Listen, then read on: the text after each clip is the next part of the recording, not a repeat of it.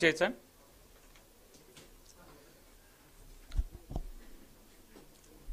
ఈరోజు జరిగినటువంటి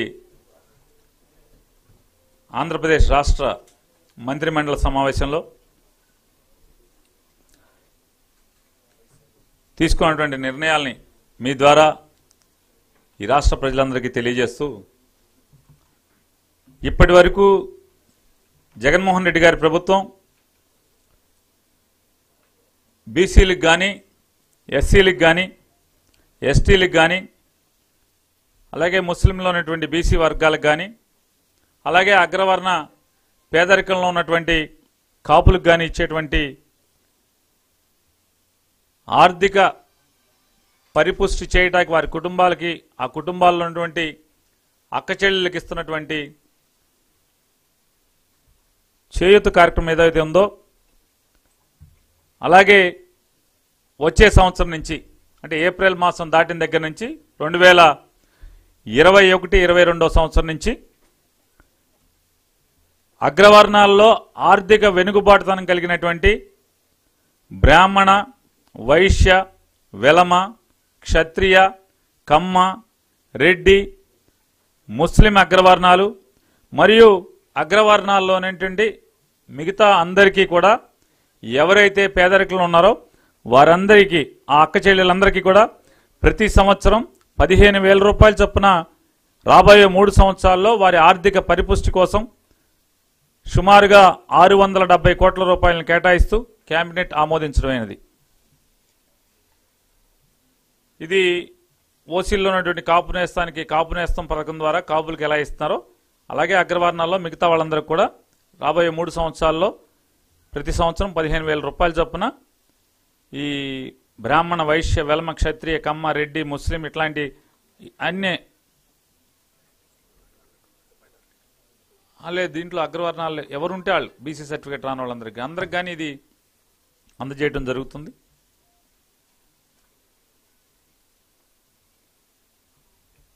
అలాగే జగన్మోహన్ రెడ్డి గారి నాయకత్వంలో జరిగినటువంటి ఈరోజు జరిగినటువంటి కేబినెట్ సమావేశంలో ప్రతి సంవత్సరం అంటే ఇప్పటి వరకు అందజేసినటువంటి ఇరవై మూడు రకాల సంక్షేమ కార్యక్రమాల్ని వచ్చే ఏప్రిల్ ఒకటో తారీఖు నుంచి మళ్ళీ మార్చి ముప్పై ఒకటో తారీఖు వరకు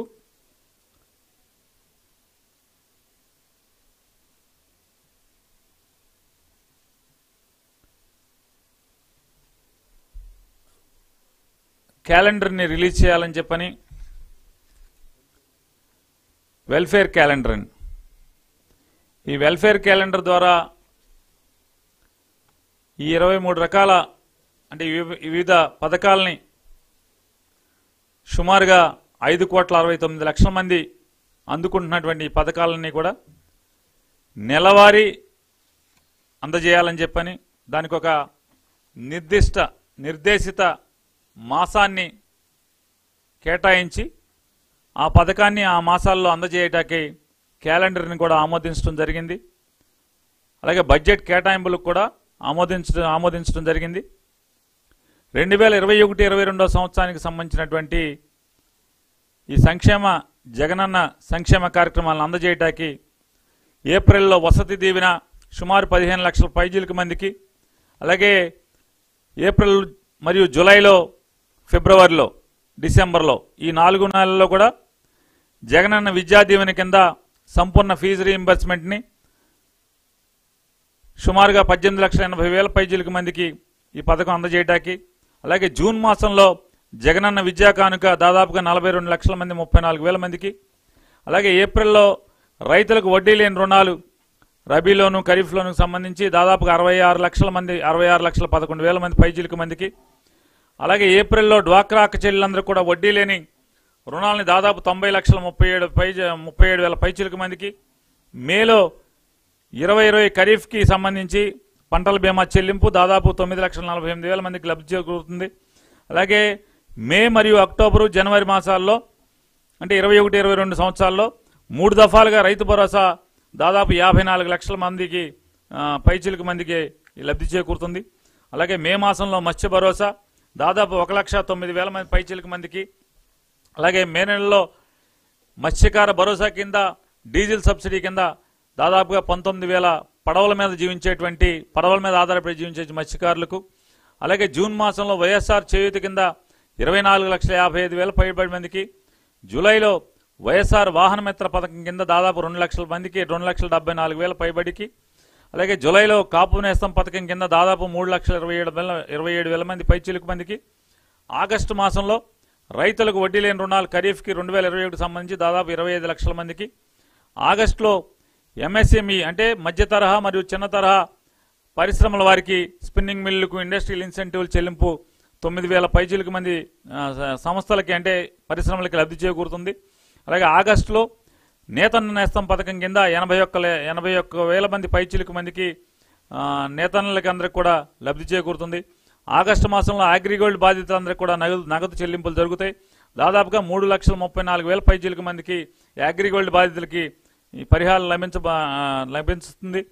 సెప్టెంబర్ మాసంలో వైఎస్ఆర్ ఆసరా కింద దాదాపు ఎనభై ఏడు లక్షల డెబ్బై నాలుగు వేల పైచీలకు మందికి అక్టోబర్లో జగనన్న తోడు పథకం కింద దాదాపు తొమ్మిది లక్షల ఐదు వేల మందికి అలాగే అక్టోబర్లో టైలర్లు రజకులు నాయి బ్రాహ్మణులకు జగనన్న తోడు జగనన్న చేదోడు కింద రెండు లక్షల తొంభై ఎనిమిది వేల పైచీలకు మందికి.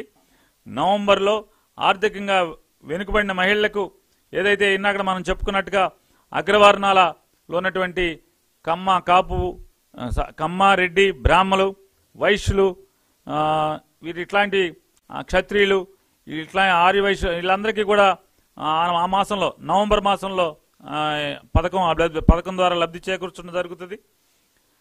దాదాపుగా ఆరు లక్షల పై పైబడి లబ్ధిదారులు ఉంటారనేది ప్రభుత్వానికి ఉన్నటువంటి అంచనా. అలాగే జనవరి మాసంలో రెండు వేల ఇరవై రెండు అమ్మఒడి పథకం కింద నలభై నాలుగు లక్షల పై పైబడి పైబడి అమ్మఒడి పథకం కింద తల్లులకు లబ్ధి చేకూరేలాగా ఇవన్నీ కూడా క్యాలెండర్ని ఆమోదిస్తూ తీర్మానం చేయడం జరిగింది. ఈ సంక్షేమ కాలమాన పట్టిక ద్వారా దాదాపుగా సరాసరి ఎనిమిది కోట్ల పైచిలుకు మందికి అంటే పథకం ఒకళ్ళకి ఒక్కొక్క ప- అంటే ఒక మనిషికి రెండు మూడు రకాలుగా కూడా పథకాల ద్వారా లబ్ధి చేకూరడం ద్వారా మనం సంఖ్య చూసుకుంటే సుమారు ఎనిమిది కోట్ల పైచిలుకు మంది వస్తుంది.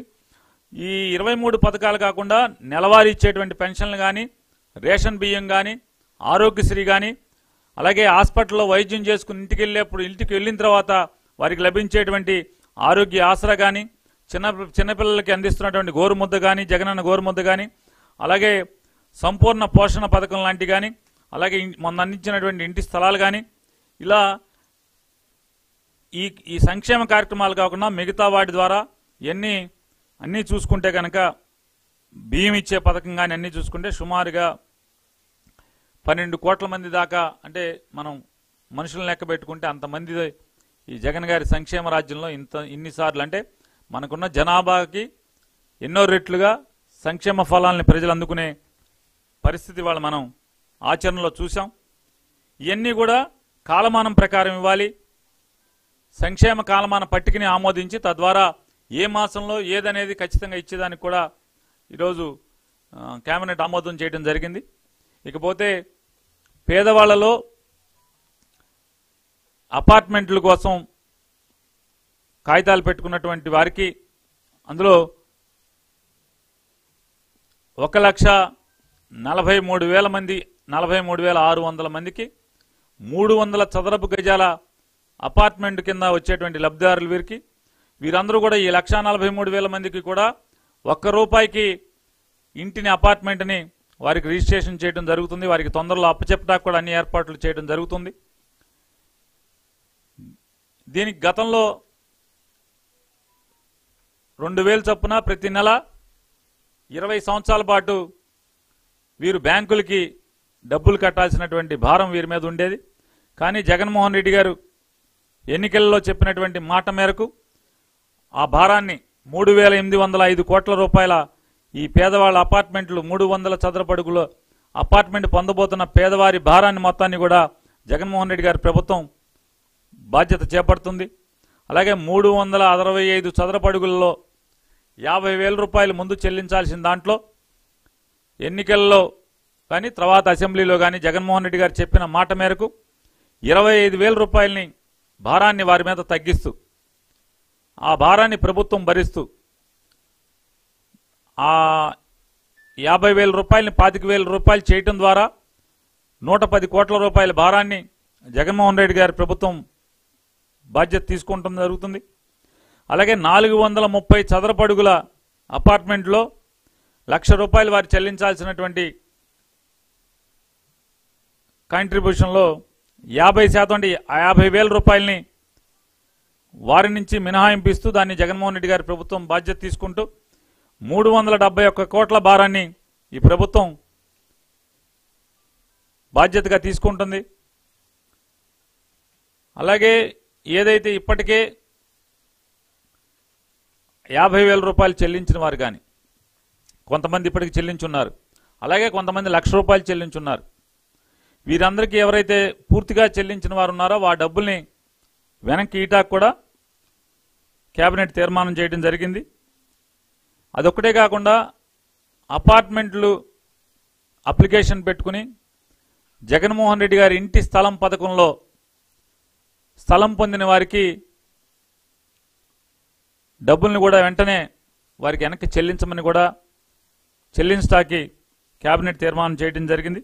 ఈ మొత్తం కలిసి నాలుగు వందల అరవై తొమ్మిది కోట్ల రూపాయలని ప్రజలకి వెనక్కి తిరిగి ఇవ్వటానికి కూడా రాష్ట్ర మంత్రి మండలి ఆమోదం చేయడం జరిగింది. ఇది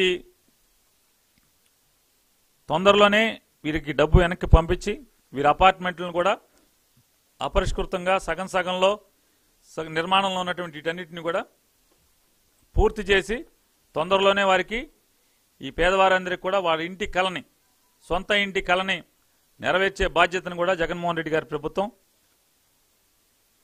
బాధ్యత తీసుకోవడం జరిగింది.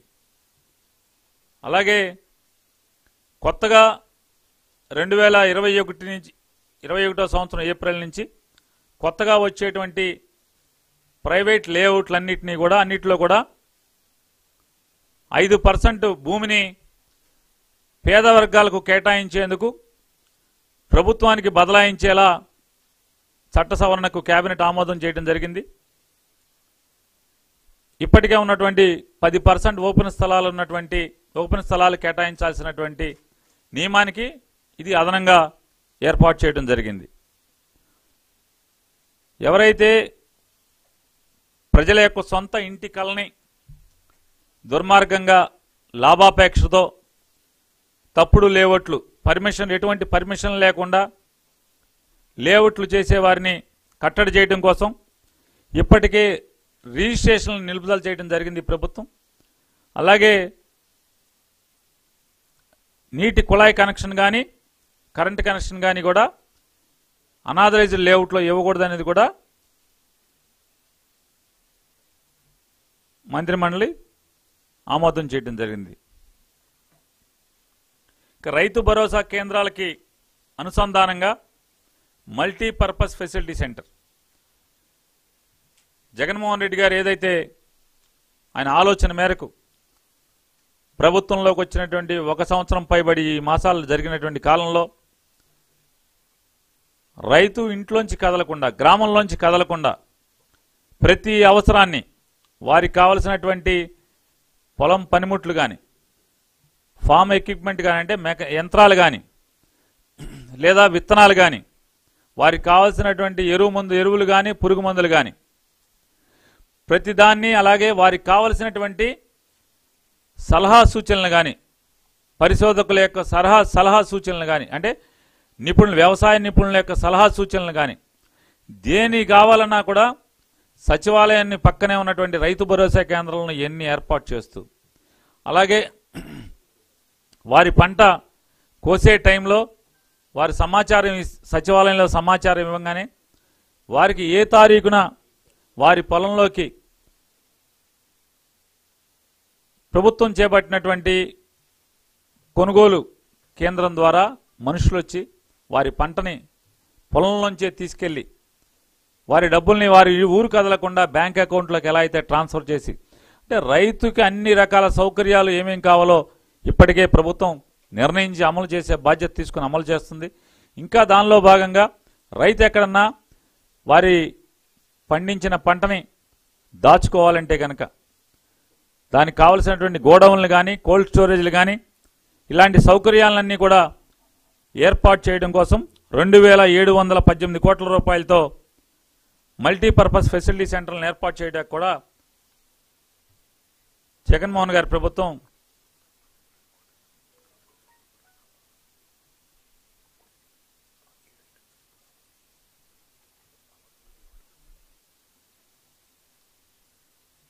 ఈ రెండు వేల ఇరవై ఒకటి ఇరవై ఒకటి ఇరవై రెండు సంవత్సరంలో ఈ కార్యక్రమాలు చేపట్టాకి తీర్మానించడం జరిగింది. అలాగే చిత్తూరు జిల్లా పెనుమూరు కార్వేటి నగరం ఈ రెండు ప్రాంతాల్లో కూడా యాభై పడకల ఆసుపత్రులుగా అక్కడ ఉన్నటువంటి పిహెచ్సిలను అప్గ్రేడ్ చేస్తూ పెనుమూరులో ఇరవై ఎనిమిది మంది వైద్య వైద్యేతర సిబ్బందిని అలాగే కార్వేటి నగరంలో ముప్పై ఒక్క మంది వైద్య వైద్యేతర సిబ్బందిని నియామకం కొరకు కూడా ఆమోదం చెల్లించడం జరిగింది. అలాగే పశ్చిమ గోదావరి జిల్లా కొవ్వూరులోని ప్రభుత్వ డిగ్రీ కాలేజీనకు ఇరవై నాలుగు మంది అధ్యాపక మరియు పద్నాలుగు మంది అధ్యాపకేతర పోస్టులను మంజూరు చేస్తూ మంత్రిమండలి ఆమోదం చేయడం జరిగింది. వైఎస్ఆర్ జిల్లా వైఎస్ఆర్ స్టీల్ ప్లాంట్ నిర్మాణాన్ని జాయింట్ వెంచర్ పార్ట్నర్తో కలిసి ఉక్కు కర్మాగారాన్ని నిర్మాణం చేయడం కోసం State Bank of India capital market చూసేటువంటి సంస్థ అయిన స్టే ఎస్బీఐ క్యాప్ ద్వారా పారదర్శకమైన పద్ధతిలో జరిగినటువంటి జాయింట్ వెంచర్ పార్ట్నర్కి ఎంపికను ఆమోదిస్తూ మంత్రిమండలి తీర్మానం చేయడం జరిగింది. అలాగే ఈ ఉక్కు ఫ్యాక్టరీ కడపలో జరిగేటువంటి వైఎస్ఆర్ స్టీల్ ప్లాంట్ నిర్మాణం తొలి దశలో పదివేల ఎనభై రెండు కోట్ల రూపాయల పెట్టుబడిని అలాగే రెండవ దశలో ఆరు వేల కోట్ల రూపాయల పెట్టుబడితోనూ ఈ ఉక్కు కర్మాగారాన్ని నిర్మాణం చేయటానికి ప్రభుత్వం నిర్ణయం చేయడం జరిగింది. అలాగే మనందరికీ తెలుసు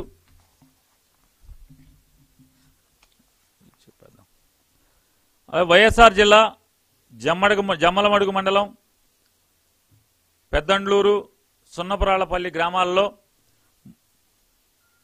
మూడు వేల నూట నలభై ఎనిమిది పాయింట్ ఆరు ఎనిమిది ఎకరాల భూమిని ఆంధ్రప్రదేశ్ రాష్ట్ర ప్రభుత్వ ఆధ్వర్యంలోని ఏపీ హైగ్రేడ్ స్టీల్స్కు కేటాయించేందుకు కేబినెట్ ఆమోదించడం జరిగింది. ఈ స్థలంలో స్టీల్ ప్లాంట్ నిర్మాణానికి మంత్రిమండలి నిర్ణయం చేయడం జరిగింది. వైఎస్ఆర్ జిల్లా ఒల్లూరు మండలం అంబాపురంలో తొంభై మూడు పాయింట్ తొమ్మిది తొమ్మిది ఎకరాల్లో ఏపీఐఐసి ఆధ్వర్యంలో మెగా ఇండస్ట్రియల్ పార్క్ కోసం భూమి కేటాయిస్తూ రాష్ట్ర మంత్రిమండలి నిర్ణయం చేయడం జరిగింది. వైఎస్ఆర్ జిల్లా సీకేదిన్ని మండలం కొప్పర్తిలో ఐదు వందల తొంభై ఎనిమిది పాయింట్ ఐదు తొమ్మిది ఎకరాల్లో మెగా ఇండస్ట్రియల్ పార్క్ నిర్మా నిర్మాణానికి ఏపీఐసికి ఈ స్థలాన్ని కేటాయిస్తూ రాష్ట్ర మంత్రిమండలి తీర్మానం చేయడం జరిగింది. అలాగే తూర్పుగోదావరి జిల్లా తొండంగి మండలం కోన గ్రామంలో నూట అరవై ఐదు పాయింట్ మూడు నాలుగు ఎకరాలు ఏపీ మ్యారిటైమ్ బోర్డుకు కేటాయిస్తూ తీసుకున్న నిర్ణయాన్ని కేబినెట్ ఆమోదం తెలియజేయడం జరిగింది. పోర్టు కార్యకలాపాల కోసం ఈ భూమిని కేటాయించడం జరిగింది. వైఎస్ఆర్ జిల్లా జమ్మలమడుగు మండలం ముద్దనూరులో నూతన అగ్నిమాపక కేంద్రాన్ని నిర్మాణానికి కేబినెట్ ఆమోదం తెలియజేయడం జరిగింది. మరియు ఈ అగ్నిమాపక కేంద్రం కోసం పన్నెండు పోస్టులను కూడా మంజూరు చేయడం జరిగింది. చిత్తూరు జిల్లా జీడి నెల్లూరు మండలం వెదురుకుప్పం సదుం మండలం సదు సదుం గ్రామం పొంగనూరు మండలంలో కూడా మరో రెండు కొత్త అగ్నిమాప కేంద్రాలను కూడా నిర్మాణం చేయడానికి ఏర్పాటు చేయడానికి క్యాబినెట్ కేబినెట్ ఆమోదం తెలియటం తెలియజేయటం జరిగింది.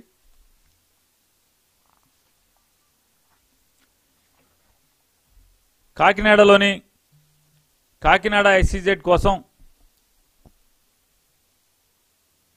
భూసేకరణ నోటిఫికేషన్ ఇచ్చి ఎన్నో సంవత్సరాలుగా ప్రభుత్వాలు ఇచ్చేటువంటి ఇచ్చినటువంటి లేకపోతే ఇవ్వజూపినటువంటి పరిహారాన్ని ముట్టుకోకుండా మా భూమి మాకే కావాలి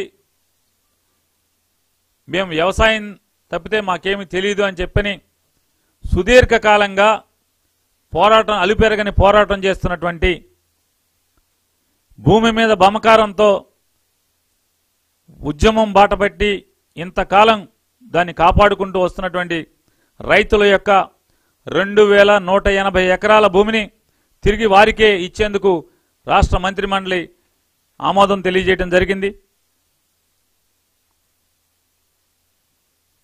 ఈ నిర్ణయాన్ని ఎన్నికల ముందు జగన్మోహన్ రెడ్డి గారు కాకినాడ ప్రాంతానికి వెళ్ళినప్పుడు అక్కడ ఉన్నటువంటి రైతులందరూ కూడా జగన్మోహన్ రెడ్డి గారి దృష్టికి వారి యొక్క ఆవేదనని వారి వ్యవసాయ భూమి పట్ల వారికి ఉన్నటువంటి మమకారాన్ని జగన్మోహన్ రెడ్డి గారికి చెప్పినప్పుడు ఆయన ఆ రోజు చెప్పిన మాట దేవుడి దయతో మీ అందరి చల్లని దీవెనలతో వచ్చేటువంటి మనందరి ప్రభుత్వంలో ఖచ్చితంగా మన భూమి మనం వెనక్కి తీసుకుందామని చెప్పి ఆ రోజు మాట చెప్పారు.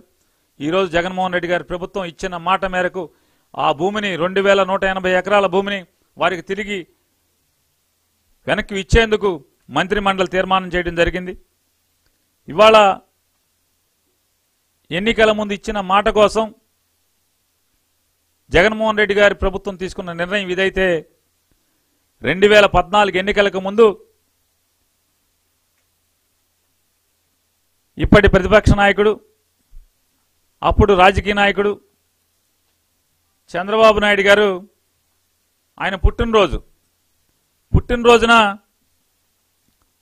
ఆ ఊరిల్లారు ఆ సెజ్ భూములో ఉన్నటువంటి రెండు వేల నూట ఎనభై ఎకరాల భూముల్లోకి వెళ్ళి అక్కడ రైతులతో ఇవాళ నా పుట్టినరోజు మా ఇంట్లో చేసుకోను మా కుటుంబ సభ్యులతో చేసుకొని మీతో చేసుకుంటానని చెప్పని తలగట్టు చుట్టి తలపాగా చుట్టి ఆయన నాగలి పట్టి దున్నుతూ ఆయన మాట్లాడాడు. మన ప్రభుత్వం రాగానే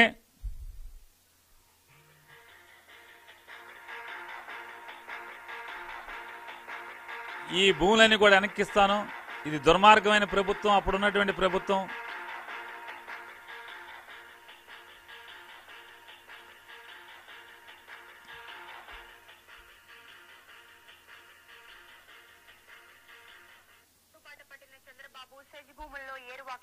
ఏరువాక రైతులతో కలిసి పొలం దున్నిన చంద్రబాబు సర్కార్ పేదల భూములు లాక్కుని ప్రైవేట్ వ్యక్తులకు ఇవ్వడంపై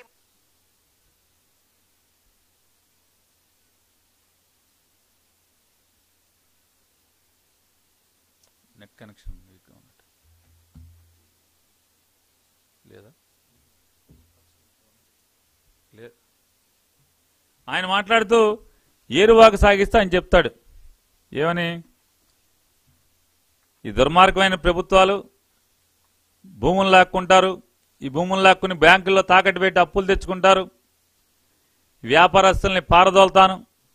ఎన్నికల అవగానే నేను ముఖ్యమంత్రి మీ భూములు మీకు ఇస్తాను మళ్ళీ నేను వచ్చి నాగలపట్టు దున్నుతానని చెప్పారు.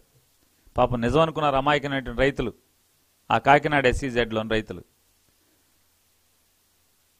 బంగారంలాగా ఆయనకి ఆ ప్రాంతం అంతా కూడా కట్టలు కట్టలు కట్టి ఆయనకి ఓటేశారు. రెండు వేల పద్నాలుగులో ఆయన ముఖ్యమంత్రి అయ్యాడు. మళ్ళీ ఆ భూమి వెనక్కి ఇవ్వలేదు మళ్ళీ దాన్ని ఎస్కి ఎస్ఈజెడ్కి ఇచ్చి ఆయన దాన్ని ఆ భూమిని రైతులకు కనీసం ఆ రోజు నా పుట్టినరోజు కదా. నా పుట్టినరోజు రోజు నేనేమేమి మాట్లాడాను. అంత పెద్ద పెద్ద మాటలు కోటలు దాటేటువంటి మాటలు మాట్లాడినటువంటి మాటలు కూడా ఆయన గుర్తురాల అంటే ఓటు కోసం ఎంతకైనా బరిదిగించేటువంటి తత్వం ఉన్న మోసం చేయటానికి మామగారినే లెక్క చేయనటువంటి ఆయన ఇక రైతుల ఏ పార్టీ అనేది గ్రహించినటువంటి రైతులు ఆయన నమ్ముకుంటే ఇవాళ ఏం పరిస్థితి అని చూసాం అదే జగన్మోహన్ రెడ్డి గారిని చూసాం మనం. ఇవాళ ఆయన మాట చెప్పాడు. రెండు సంవత్సరాలు తిరక్క ముందే ఇచ్చిన మాట నిలబెట్టుకునేలాగా ఇవాళ కేబినెట్ ఆమోదం చేయడం జరిగింది. ఈ రెండు వేల నూట ఎనభై ఎకరాలని రైతులకు వెనక్కి ఇచ్చేయడమే కాకుండా ఆ రోజున ఆరు గ్రామాలని ఖాళీ చేయాలని చెప్పని కూడా చెప్పడం జరిగింది. శ్రీరామపురం బండిపేట ముమ్మిడివారిపోడు పాటివారిపాలెం రావివారిపోడు రామరాఘవపురం. ఈ ఆరు గ్రామాలు శ్మశానాలు ఎన్నిటినో కూడా నోటిఫై చేసి ప్రభుత్వం లాక్కోవడం జరిగింది. ఈ గ్రామాలు ఖాళీ చేయాలని చెప్పని ప్రజలకి కంటి మీద నిద్రలేనటువంటి రాత్రుల్ని ప్రభుత్వం అప్పుడు ఉన్నటువంటి ప్రభుత్వాలు చంద్రబాబుతో సహా అందరూ కల్పిస్తే ఇవాళ జగన్మోహన్ రెడ్డి గారి ప్రభుత్వం ఈ ఆరు గ్రామాలు శ్రీరామపురం బండిపేట ముమ్మిడివారిపోడు పాటివారిపాలెం రాయివారిపోడు రామరాఘవపురం. ఈ గ్రామాలు ఖాళీ చేయాల్సిన అవసరం లేకుండా రాష్ట్ర ప్రభుత్వం నిర్ణయం చేస్తూ అలాగే ఆ శ్మశానాలను కూడా వారి వారి గ్రామాలకి వెనక్కి ఇచ్చేయాలని కూడా నిర్ణయం తీసుకోవడం జరిగింది. అలాగే అన్యాయంగా అంటే భవిష్యత్తులో ఆ భూములు తీసుకోవాలనే ఉద్దేశంతో అమ్మకాలు కొనుగోళ్ళు జరగకూడదు. రైతులు భూములన్నీ కూడా కట్టడి చేయడం కోసం సంఖ్యలు వేసి ట్వంటీ టూ ఏ అంటే ప్రొబిషనరీ యాక్ట్ కింద ట్వంటీ టూ ఏ క్లాజ్ కింద అవన్నీ కూడా రిజిస్టర్ ఆఫీసులో రిజిస్ట్రేషన్ జరగకుండా మార్టిగేజ్ జరగకుండా దాని మీద క్రాప్ లోన్ రాకుండా ట్వంటీ టూ ఏ కింద ప్రైవేట్ రైతుల భూములన్నీ కూడా సంఖ్యలు వేయడం జరిగింది. ఇవాళ జగన్మోహన్ రెడ్డి గారి ప్రభుత్వం ఆ సంఖ్యలన్నీ కూడా తెగ్గొడుతూ ట్వంటీ టూ ఏలో ఏదైతే అన్యాయంగా రైతు వారి భూములన్నీ కూడా ట్వంటీ టూ ఏ కింద పెట్టారో. ఆ భూములన్నీ కూడా ట్వంటీ టూ ఏ నుంచి తొలగిస్తూ కూడా నిర్ణయం తీసుకోవడం జరిగింది. అలాగే ఇప్పటికే సేకరించినటువంటి భూమిని గతంలో ఇచ్చినటువంటి పరిహారాన్ని తర్వాత జిఎంఆర్ ద్వారా కొంత పెంచినప్పటికి కూడా దాన్ని తీసుకోకుండా ఆరు వందల యాభై ఏడు ఎకరాల్లోని రైతులు పోరాటం చేస్తూనే ఉన్నారు. ప్రభుత్వ పరిహారాన్ని కానీ ప్రభుత్వ పరిహారానికి అదనంగా జిఎంఆర్ ఇచ్చినటువంటి పరిహారాన్ని కూడా తీసుకోకుండా వారందరూ కూడా అలాగే మా అంటే పరిహారం మాకు నచ్చలేదు మా భూమికి తగి పరిహారం కాదని పోరాటం చేస్తున్నటువంటి ఆ రోజు ఆరు వందల యాభై ఏడు ఎకరాల భూముల్లోని రైతులకి మరొక అదనంగా ఐదు లక్షల రూపాయల పరిహారాన్ని ఇప్పటికే ప్రభుత్వం కానీ జిఎంఆర్ గారి ఆఫర్ చేసినటువంటి ఇచ్చినటువంటి పరిహారానికంటే కూడా ఇవ్వజూపిన పరిహారానికంటే కూడా ఐదు లక్షల రూపాయలు అదనంగా పరిహారం ఎకరాకి ఇవ్వటానికి కూడా ప్రభుత్వం నిర్ణయం చేయడం జరిగింది. అలాగే ఈ సంవత్సరాల తరబడి జరిగినటువంటి పోర ఉద్యమంలో అనేక పోరాటాలు జరిగినాయి. ఈ పోరాటాల్లో ఈ ప్రభుత్వాలు ప్రజా వ్యతిరేక ప్రభుత్వాలు రైతు వ్యతిరేక ప్రభుత్వాలు వారి మీద పెట్టినటువంటి కేసులన్నీ కూడా ఉపసంహరించడానికి కూడా రాష్ట్ర ప్రభుత్వం నిర్ణయం తీసుకోవడం జరిగింది. అలాగే ఈ ఎస్సీజెడ్ ఏదైతే ఇప్పటికే సేకరించినటువంటి భూమిలో ఎస్సీ ఏర్పాటు అవబోయేటువంటి ఎస్సీజెడ్లో ఎక్కడా కూడా దాంట్లో ఏ పరిశ్రమ ఏర్పాటు చేసినా కూడా అందులోంచి చుక్క అంటే దాంట్లో వాడినటువంటి ఏ పదార్థం కూడా బయటికి రాకుండా దాన్ని దూరంగా పైప్ లైన్ వేసుకెళ్తారా ట్యాంకుల్లో తీసుకెళ్తారా దాన్ని దూరంగా తీసుకెళ్ళి ట్రీట్మెంట్ చేసుకునేలాగాను. అలాగే ఇదే విషయాన్ని తుని దగ్గరలో ఏర్పాటు చేస్తున్నటువంటి దివి ల్యాబ్లో కూడా ఏ అవశేషాలని ఆ ఫ్యాక్టరీలోంచి ఏ అవశేషం కూడా గేటు దాటి బయటికి రాకుండా దాన్ని దూరంగా తీసుకెళ్ళాలని చెప్పనేది కూడా దానికి కావాల్సినటువంటి కట్టుబాట్లను కూడా ప్రభుత్వం నిర్ణయించడం జరిగింది. అలాగే దీనికి ఆ పరిసరాల్లో ఉన్నటువంటి ఏ ఒక్క హ్యాచరీ కూడా దెబ్బతింటాకి వీలు లేకుండా పర్యావరణ కలుషితం కాకుండా ఆ ఫ్యాక్టరీలోంచి ఒక్క చుక్క అవశేషం కూడా బయటకు రాకుండా ఉంటే తీ- తీసుకోవాల్సిన చర్యలను కూడా ప్రభుత్వం నియంత్రణ చేయడం జరుగుతుంది. దానికి నిర్ణయం కూడా తీసుకోవడం జరిగింది. అలాగే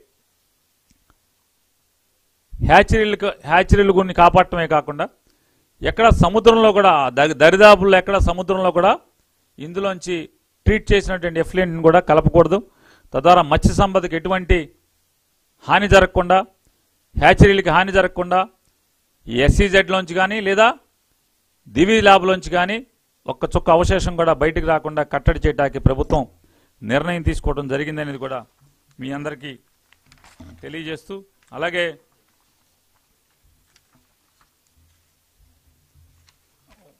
వైజాగ్ స్టీల్ ఫ్యాక్టరీ గురించి కూడా చర్చ రావటం జరిగింది. దానికి జగన్మోహన్ రెడ్డి గారి నాయకత్వంలో మొన్న ఇప్పటికే జగన్మోహన్ రెడ్డి గారు విశాఖపట్నం వెళ్ళినప్పుడు అక్కడ ఉన్నటువంటి కార్మికులతో కానీ కార్మిక సంఘాలతో కానీ పోరాటం చేస్తున్నటువంటి ప్రజా సంఘాలతో కానీ జగన్మోహన్ రెడ్డి గారు చర్చించడం వారి అభిప్రాయాన్ని స్పష్టంగా వారికి తెలియజెప్పడం జరిగింది. ఇప్పటికే జగన్మోహన్ రెడ్డి గారు కేంద్ర ప్రభుత్వానికి ప్రధానమంత్రికి ఈ ఫ్యాక్టరీని మూయకుండా ఉన్నటువంటి ప్రత్యామ్నాయ మార్గాలన్నీ కూడా ఎత్తి చూపుతూ ఉత్తరం రాయటం జరిగింది. ఎంపీల్ని పంపించడం జరిగింది. అలాగే రేపు జరగబోయేటువంటి అసెంబ్లీలో కూడా కేంద్ర ప్రభుత్వాన్ని డిమాండ్ చేస్తూ కూడా ప్రత్యామ్నాయ ఈ ఫ్యాక్టరీని ప్రైవేటీకరణ చేయకుండా ఉక్కు విశాఖ ఉక్కు కర్మాగారాన్ని కర్మాగారాన్ని ప్రైవేటీకరణ చేయకుండా అసెంబ్లీ తీర్మానం చేసి కేంద్ర ప్రభుత్వాన్ని కోరుతూ ప్రత్యామ్నాయ ప్రత్యామ్నాయ మార్గాల ఏర్పాటు ద్వారా ఆ ఫ్యాక్టరీని ఉక్కు కర్మాగారాన్ని ప్రజల ఆస్తిగా ఉంచాలని చెప్పని డిమాండ్ చేస్తూ అసెంబ్లీలో తీర్మానం చేయటానికి కూడా రాష్ట్ర మంత్రి మండలి తీర్మానం చేయటం జరిగింది. అలాగే టిటిడి తిరుమల తిరుపతి దేవస్థానం వారు కోరినటువంటి వారి ఉద్యోగం అంటే టీటీడీలో పనిచేస్తున్నటువంటి వారి ఉద్యోగస్తులకి ఇళ్ళ స్థలాల కేటాయింపు కోసం ప్రభుత్వాన్ని అనుమతి కోరటం జరిగింది. అనుమతిని కూడా రాష్ట్ర మంత్రి మండలి ఆమోదం తెలియజేయడం జరిగింది. అలాగే రాష్ట్ర ముఖ్యమంత్రి జగన్మోహన్ రెడ్డి గారు ఈ రాష్ట్రంలో ఉన్నటువంటి అంటే మున్సిపల్ ఉన్నతాధికారులకి అందరికీ కూడా ఆదేశాలు ఇవ్వటం జరిగింది స్పష్టంగా. రాబోయే కొద్ది మాసాల్లోపు ఆయన ఒక టార్గెట్ ఫిక్స్ చేశారు. ఆ మాసాల్లోపు మూడు నుంచి ఆరు మాసాల్లోపు సుమారుగా రెండు వేల ఏడు వందల వెహికల్స్ని మున్సిపాలిటీలో door to door garbage collection చేయాలి. ప్రతి మున్సిపాలిటీ కూడా పరిశుభ్రంగా ఉండాలి అందంగా ఉండాలి. ఎక్కడా కూడా చెత్త కానీ రోడ్డు మీద మురికి కానీ కనపడకూడదు. ఇళ్ళలోని చెత్త ఎవరు కూడా రోడ్డు మీద వేయకూడదు. ప్రతి ఊరు కూడా చెత్తరహిత పురపాలక సంఘంగా ఉండాలి నగరపాలక సంస్థగా ఉండాలి. దానికి మీకు ఆదేశాలు జారీ చేస్తున్నాను. ఈ వెహికల్స్కి ఇప్పటికే ప్రభుత్వం సూత్రప్రాయంగా గడిచిన రెండు మాసాల క్రితమే ఆమోదం తెలియజేయడం జరిగింది. దాన్ని తొందరలోనే అమలు చేయాలని చెప్పని అలాగే టార్గెట్గా మున్సిపల్ ఉన్నతాధికారులకు కానీ మున్సిపల్ కమిషనర్స్ అందరికి కూడా టార్గెట్గా శానిటేషన్ని అలాగే రోడ్ల మెయింటెనెన్స్ని కూడా. ఎక్కడ గుంతలు కానీ గతులు కానీ లే లేనటువంటి రోడ్లుగా ఉండాలి. ప్రతిదాన్ని కూడా క్షుణ్ణంగా పరిశీలించి ఎక్కడ కూడా ప్రజలకి చిన్న అసౌకర్యం కలగకుండా రోడ్లను మెయింటైన్ చేయాలి. దానికి కావలసినటువంటి నిధులను కూడా ఇమీడియట్గా అందజేయమని కూడా ఆదేశాలు ఇవ్వటం జరుగుతుంది. అలాగే మంచినీళ్ళను కూడా ఎక్కడ కొరత లేకుండా కూడా ఎప్పటికప్పుడు అయితే పైప్ లైన్ ద్వారా కానీ లేని పక్షంలో ట్యాంకర్ల ద్వారా కానీ సమృద్ధిగా మంచినీరు అందించేదానికి వేగవంతమైన చర్యలు తీసుకోవాలి. భారతదేశంలో ఎలా అయితే సూరత్ గురించి అందరం కూడా మున్సిపల్ పాలన అనగానే నగరం అనగానే సూరత్ గురించి మనం మాట్లా భారతీయులందరూ మాట్లాడుకుంటాము. రాబోయే ఆరు మాసాల్లో ఆంధ్రప్రదేశ్ రాష్ట్రంలోని అన్ని మున్సిపాలిటీలు కూడా నగరపాలక సంస్థలు కూడా సూరత్తో పోటీ పడుతూ మనం కూడా అదే రీతిలో అంత సుందరంగా ఉండాలని చెప్పని కూడా ముఖ్యమంత్రి గారు ఆదేశించడం జరిగింది క్యాబినెట్లో. అధికారులను కూడా కూర్చోబెట్టి తొందరలోనే ప్రతి ఇంటికి మూడు రకాల బ్యాగ్స్ ద్వారా వారి చెత్తను కలెక్ట్ చేయడం జరుగుతుంది. తడి చెత్త కానీ పొడి చెత్త కానీ లేదా ప్రమాదకరమైనటువంటి చెత్త కానీ ఈ మూడు రకాలని తీసుకుని దాని ద్వారా సంపదను కూడా సృష్టించాలనేది ముఖ్యమంత్రి గారు ఈరోజు ఉన్నతాధికారులకు ఆదేశించడం జరిగింది. ఇవన్నీ కూడా టార్గెటెడ్గా రాబోయే ఆరు మాసాల్లో వీటన్నిటి మీద వేగవంతమైన చర్యలు ఉండాలని చెప్పని కూడా రాష్ట్ర ముఖ్యమంత్రి గారు ఈరోజు మున్సిపల్ ఉన్నతాధికారులందరినీ కూడా పిలిచి కేబినెట్కి ఆదేశించడం జరిగింది.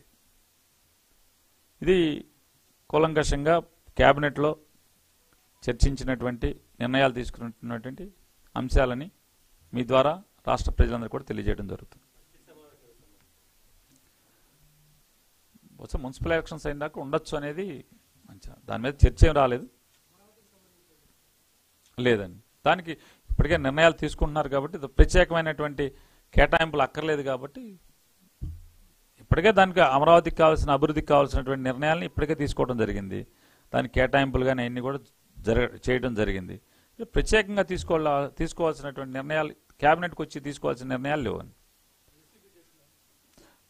మర్చిపోయిన. ఏసీబీ కేసుల గురించి కాదు కానీ నేనే ఈ మీ గబగబా లేట్ అయ్యామన్న ఉద్దేశంతో దానిలో కూడా ఒకటి ఏసీబీ కేసులు ఎక్కడైతే అవినీతి అధిక అవినీతి అధికారులు ప్రజల్ని పీడించుకు తింటున్నటువంటి అధికారులు లంచాల కోసం పీడిస్తున్నటువంటి అధికారులు రెడ్ హ్యాండెడ్గా ఎక్కడైతే దొరికారో ఆ రెడ్ హ్యాండెడ్గా దొరికినటువంటి అధికారుల మీద రెండు సంవత్సరాల వరకు ఇవాళ అంటే రిపోర్ట్లు కానీ అన్ని finalization case finalization two years ఉన్నది. దాన్ని వంద రోజులకి కుదిస్తూ చట్ట సవరణ కూడా మంత్రిమండలి ఆమోదం చేయడం జరిగింది. ఈ తొంభై రోజుల్లోపు ఎవరైతే కేసుని అంటే రెడ్ హ్యాండెడ్గా దొరికినప్పటికి కూడా దాన్ని కన్క్లూడ్ చేయకుండా అంటే విచారణ పూర్తి చేయకుండా ఉన్నారో ఆ ఏసీబీ అధికారుల మీద కూడా చర్య తీసుకోవాలని కూడా ముఖ్యమంత్రి గారు ఆదేశించనుంది. దానికి కావలసినటువంటి అన్ని చట్ట సవరణలు కూడా చేయాలని చెప్పని ఈరోజు మంత్రిమండలి ఆమోదం చేయడం జరిగింది.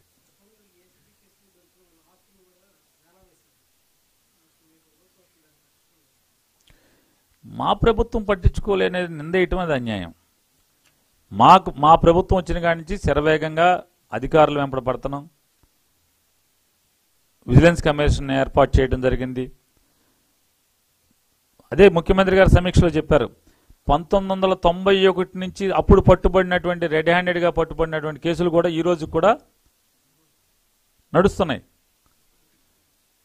ఇప్పటికి నాలుగు వందల పైచిలకు కేసులు అపరిష్కృతంగా అంటే దాన్ని కన్క్లూడ్ చేసి క్లోజ్ చేసి లేకుండా ఉన్నాయి ఇంకా ఉన్నాయి. కాబట్టి ఇటువంటి జరగకూడదు.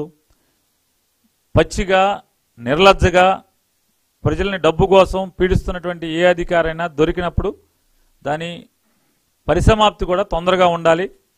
అప్పుడే మిగతా వాళ్ళు అవినీతి చేయటానికి భయపడతారనేది ఈ ప్రభుత్వం భావిస్తుంది. అందుకోసమే శరవేగంగా విచారణ తొంభై రోజు వంద రోజుల్లో పూర్తి చేసేయాలి.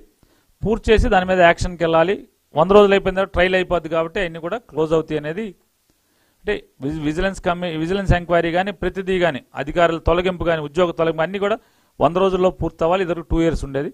దాన్ని వంద రోజుల్లో కుదిస్తూ త్వరితగతిన ప్రజలకు న్యాయం జరగాలి. అవినీతిలో పట్టుబడిన అధికారి అదే అధికారి మళ్ళీ అదే ఊళ్ళో ఉద్యోగం చేసేటువంటి సాక్షాత్ మన కళ్ళ ముందు బోల్డెన్ సాక్షా సాక్షాత్కరించి మనం చూసాం అంటే అటువంటి తప్పులు జరగకూడదు. ప్రజలు మనం అనవసరంగా ఈ అవినీతిని మనం చెప్పాం ప్రభుత్వానికి అనేటువంటి గిల్టీ పడే రోజులు చాలా చూసాం మనం.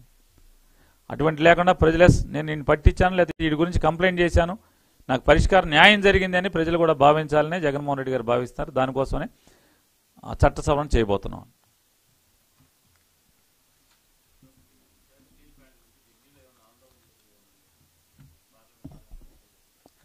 ఆందోళన చేసే స్థితి వచ్చినప్పుడు ఖచ్చితంగా ఆందోళన చేయడానికి ఏం జగన్మోహన్ రెడ్డి గారు వెనకాడే మనిషి కాదు. వైఎస్ఆర్ కాంగ్రెస్ పార్టీ వెనకాడేది కాదు. వాళ్ళు ప్రభుత్వం ఆలోచన కేంద్ర ప్రభుత్వం చేస్తున్నటువంటి ఆలోచన ఏదైతే ప్రైవేటీకరణ చేయాల ఆలోచన ఉందో ఆలోచన ఎందుకు వచ్చింది మాకని వాళ్ళు ఏం చెప్తున్నారు? అప్పులు పాలైపోయింది ఈ కంపెనీ అని చెప్తున్నారు. ఆ అప్పులు పాలవకుండా ఉంటాకి ఏమేం కావాలో ఆ దానికి ప్రత్యామ్నాయాలన్నీ కూడా అందరికంటే ముందుగా జగన్మోహన్ రెడ్డి గారు కేంద్ర ప్రభుత్వానికి తెలియజేయడం జరిగింది. దాని మీద పర్ష్యూ చేస్తున్నాం ఎంపడబడుతున్నాం కాబట్టి ఖచ్చితంగా మేము ప్రభుత్వాన్ని కేంద్ర ప్రభుత్వం మీద ఒత్తిడి తీసుకొచ్చి అది ప్రైవేటీకరణ కాకుండా ఉంటాకి జగన్మోహన్ రెడ్డి గారి ప్రభుత్వం అన్ని జాగ్రత్తలు తీసుకుంటుందండి.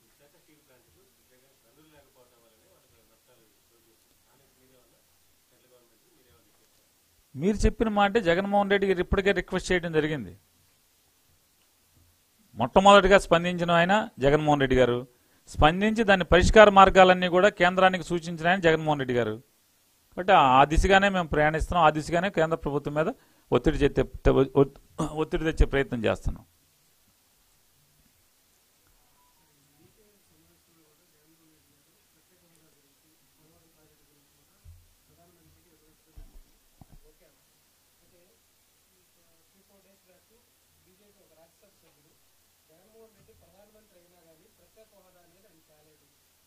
ఎవరు వారి పేరు?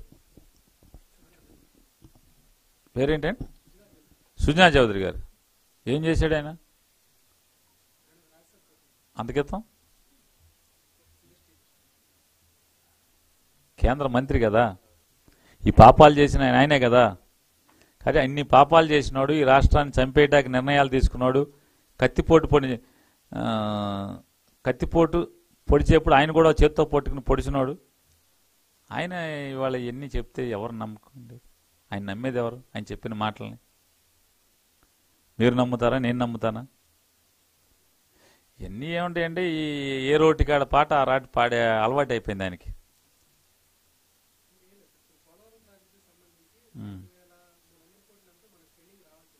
ఇప్పుడు ఆ మాట ఆయన మాట్లాడ ఆ- ఆ మాట ఆయన మాట్లాడలేదనుకోండి చౌదరి గారు.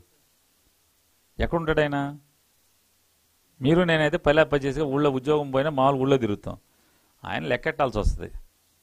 కాబట్టి ఆ మాటే మాట్లాడతాడు ఆయన. ఆయన భయం ఆయనది తప్పే ఉంది మనం ఆయన తప్పు పట్టక కూడా లేదు అది.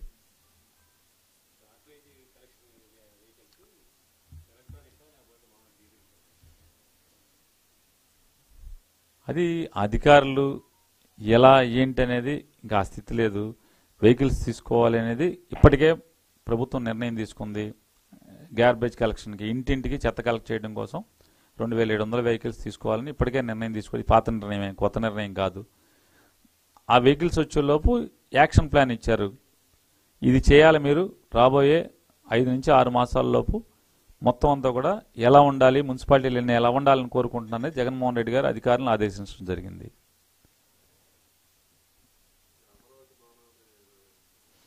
అంటే ఇప్పటికే ముఖ్యమంత్రి గారు తన నిర్ణయాలను చెప్పడం జరిగింది వాటికి ఆదేశాలు ఇవ్వటం జరిగింది. జరుగుతున్నాయి. దాని గురించి అసలు సరే కమిటీ వేయటమే కాకుండా జగన్మోహన్ రెడ్డి గారు మొదటి నుంచి చెప్తున్నారు. అయ్యా మీరు ఒకసారి రండి. నాతో చర్చించండి. నేనేమో అమరావతికి వ్యతిరేకం కాదు. అమరావతిని నేనేమి తీసేయాలని కోరుకోవట్లేదు. కాకపోతే కేవలం ఇక్కడ ఒక్క కాకుండా అన్ని చోట్ల చేద్దాం అనేది నా అభిప్రాయం అని జగన్మోహన్ రెడ్డి గారి ప్రభుత్వం చెప్తానే ఉంది. ఎవరిని ఇన్వైట్ చేయలేదు? ఎవరు చెప్పారు మీకు? వెళ్ళిన రోజు వెళ్ళినా తిట్లు తిన్నారు వచ్చేసారు ఎంపీలు వెళ్ళారు తిట్లు తిన్నారు వచ్చేసారు. ఇప్పుడు ఎంపీలు తన్నులు తిన్న ఎంపీలు ఉన్నారు. ఎంఏ తన్నులు తిన్న తిట్లు తిన్న ఎంపీలు ఉన్నారు. గొడ్లో సంచు బట్టల్లో పాత బట్టల్లో గొడ్ల కుక్కి ఆ గొడ్లకి రకరకాల అంగాలను పెట్టి మా ఫోటోలు పెట్టించుకున్న. మంత్రులు ఉన్నాం? చాలా ఉన్నాయి బాబు మాకు. మేము ఆ టెంట్లు బయట మేమే కదా ఉన్నది. మరి టెంట్లు బయట మేమే కదా. ప్యాంటు షర్టుకి లోపల గుట్ల కుక్కి మా పైన మా ఫోటోలు వేసి దానికి బోళ్ళని పెట్టి బోళ్ళని చేసి మేమే కదా బయట టెంట్ కాడ ఉన్నది.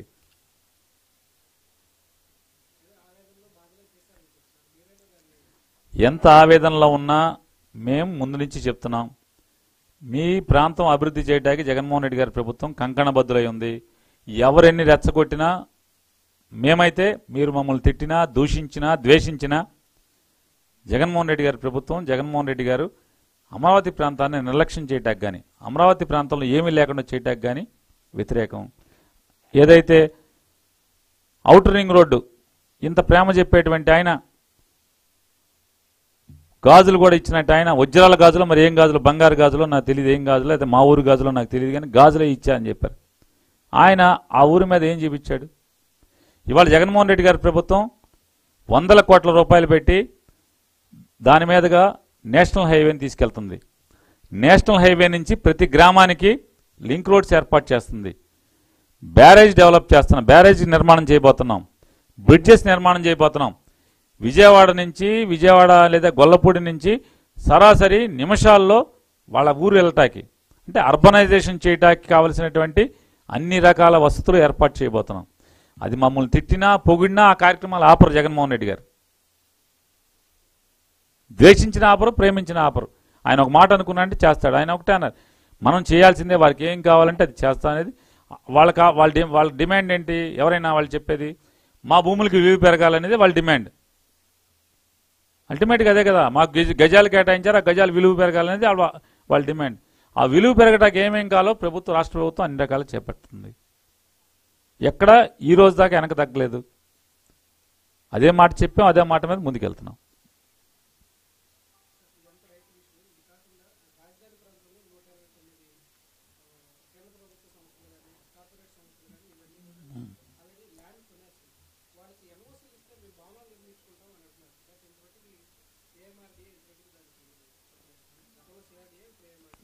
నాది ఒక చిన్న అభ్యర్థన మీకు.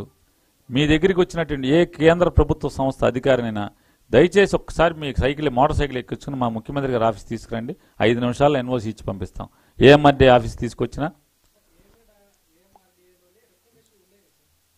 మీరు ఎన్ఓసి ఇవ్వలేదని ఆయన మీకు వచ్చి చెప్తున్నాడు కదా. ఒక్కసారి మా దగ్గరికి రావట్లేదు ఎన్ఓసి కావాలని మా ఆఫీస్కి ఏం రాలేదు? మా పురపాలక శాఖ మంత్రి దగ్గర రాలేదు. సీఎం ఆఫీస్కి మేము వస్తామని ఎవరు అపాయింట్మెంట్ అడగలేదు. ఒక్కసారి మీ దగ్గరికి వస్తే నాకు కూడా చెప్పండి. నేను కూడా వస్తాను. ఇద్దరం కలిసి వాళ్ళని తీసుకెళ్ళి ఎన్ఓసి ఇప్పిద్దాం.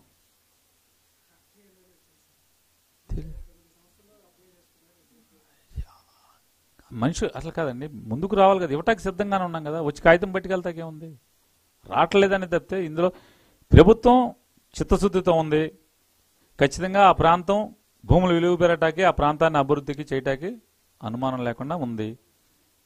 ఎవరికి విశ్వాసం ఉన్నా లేకపోయినా జగన్మోహన్ రెడ్డి గారు ఒక మాట చెప్పాడంటే ఖచ్చితంగా చేసి తీరుతాడు. ఆయన ఆ పనిలో ఉన్నారు. ఆ నిర్ణయం మీదే ఉన్నారు. వెనక్కి తగ్గేది లేదు.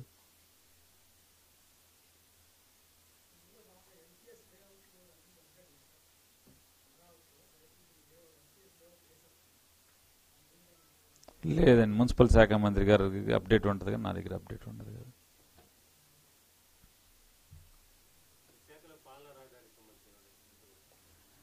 తప్పకుండా మనందరం చూసే రోజు వస్తుంది. దానికోసం కూడా అందరం ఎదురు చూస్తున్నాం. థ్యాంక్ యూ సార్ కోర్టు కేసిన ఆయన తీసేయమని చెప్పండి.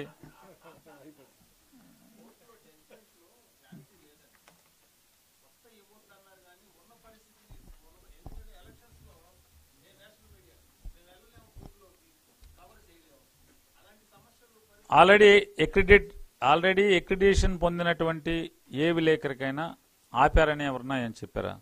ఇది పనికిరాదని ఎవరన్నా? అరే మీరు అప్లై చేయడం సక్రమంగా అప్లై చేయకపోతే ఎట్లా? ఇది నవ్వుతూ అన్యాయం ఇది. మీరు ఏ మీ- మీరు ఎలాగా సార్? మీరు మీకు ఏదైతే మీ కాగితాలు పెట్టారు గవర్నమెంట్ అంటే ఇన్ఫర్మేషన్ డిపార్ట్మెంట్ మిమ్మల్ని ఏదైతే ప్రొఫార్మా కాగితాలు లేకపోతే అటాచ్మెంట్స్ ఏమేమి పెట్టమని అడిగిందో అవి పెడితే కా కాదండి కాదు కాదు కాదు వినండి వినండి. మీకు ఆన్లైన్లో మీరు అప్లై చేసేప్పుడు ఏమేమి పెట్టమని అడిగిందో అవన్నీ కూడా మీకు కనుక మీరు పెట్టుంటే రాకపోతే బహిరంగంగా నేను క్షమాపణ చెప్తాను తప్పు సరిదిద్దుకుంటాను. మీరు మీరు వ్యాలిడ్ అప్లికేషన్ పెట్టి ఏదైతే ఐఎన్పిఆర్ డిపార్ట్మెంట్ మీకు గైడ్ లైన్స్ ఇచ్చి ఆన్లైన్లో మీరు అప్లోడ్ చేయమని చెప్పిందో ఆ మేరకు మీరు అప్లై చేసి ఉండి మీరు కో- మీరు అప్లై చేసి ఉండి మీకు పాస్ రాకపోతే బహిరంగంగా నేను క్షమాపణ చెప్తాను.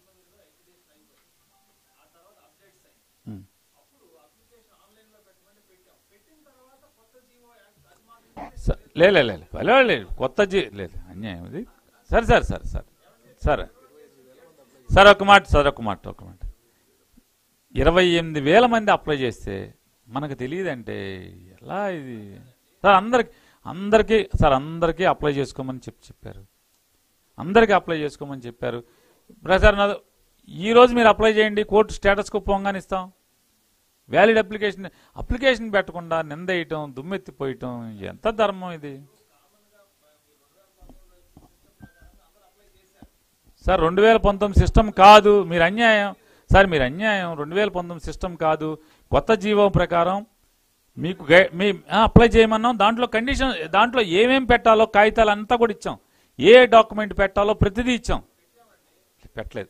సార్ చెప్తా మీ మీరు మీరు కొత్త జీవో ప్రకారం మీరు అప్లికేషన్ ఇరవై ఎనిమిది వేల మంది అప్లై చేశారు కదా దాంట్లో మీరు పెట్టినటువంటి అప్లికేషన్స్ పెట్ వ్యాలిడ్ అప్లికేషన్ ఇది. మా డిపార్ట్మెంట్ ఇవ్వకపోతే నేను బహిరంగంగా మేము కాళ్ళు పట్టిన క్షమాపణ చెప్తా. రైట్. నేను నేను నేను ఆ ఛాలెంజ్ స్వీకరిస్తాను.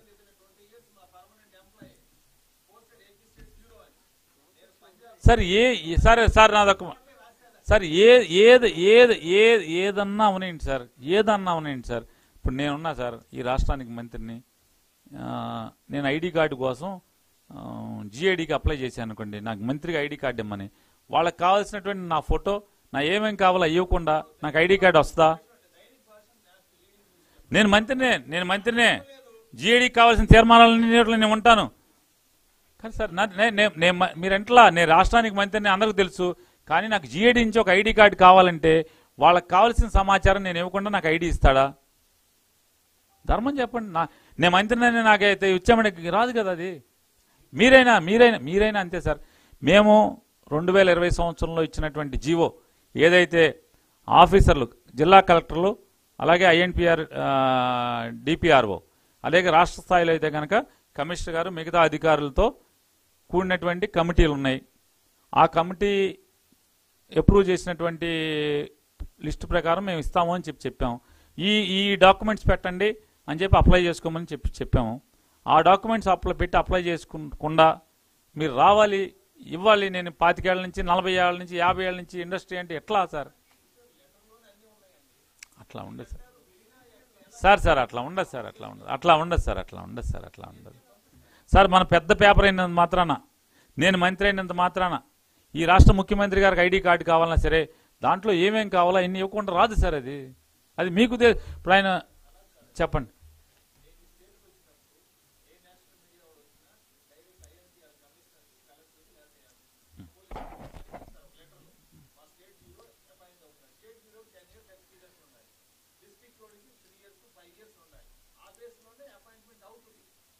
సార్ తమరు వింటలేదు తమరు వింటలేదు తమరు వింటలే.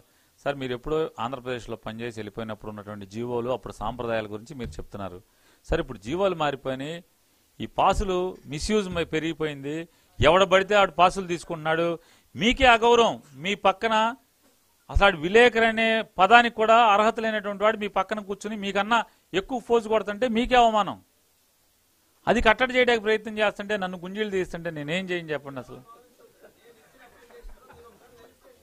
అట్లాగే తప్పకుండా సార్.